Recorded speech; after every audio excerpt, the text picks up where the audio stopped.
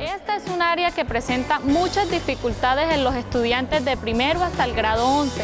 Es por eso que el Ministerio de Educación Nacional le está pidiendo a los docentes que trabajen unas estrategias metodológicas que permitan que el estudiante se enamore de las matemáticas.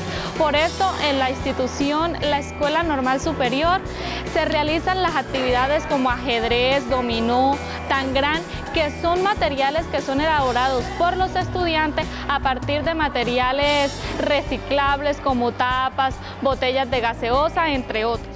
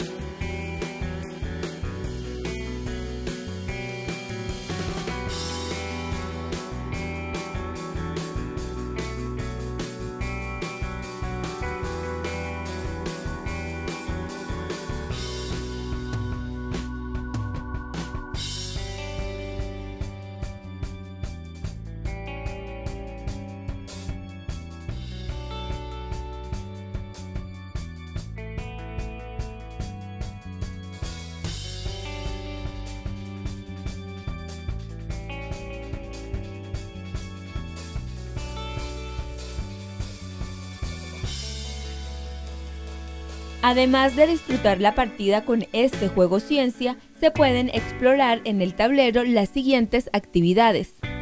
Identificar rectas paralelas y rectas perpendiculares. Medir el área del cuadrado, el perímetro, la diagonal del cuadrado aplicando el teorema de Pitágoras. Identificar triángulos, rectángulos, ángulos rectos y la medida en grados del cuadrado.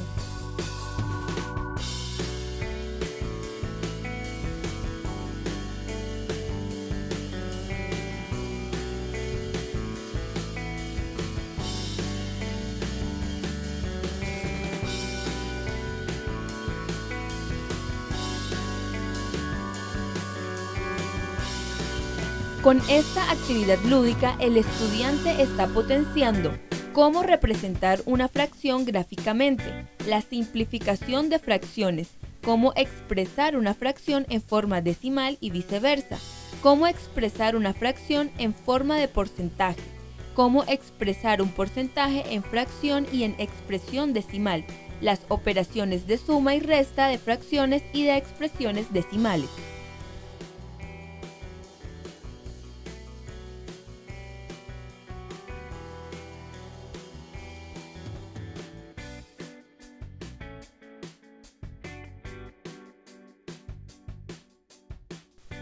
Con el desarrollo de esta actividad, el estudiante se apropia de la identidad de nuestro municipio de Río de Oro, reconociendo los colores de nuestra bandera, la letra de nuestro himno, los principales sitios turísticos, tanto urbanos como rurales, de nuestro municipio, y a la vez pone a prueba su competitividad en conocimientos matemáticos que le sirven de refuerzo para la preparación de las pruebas censales.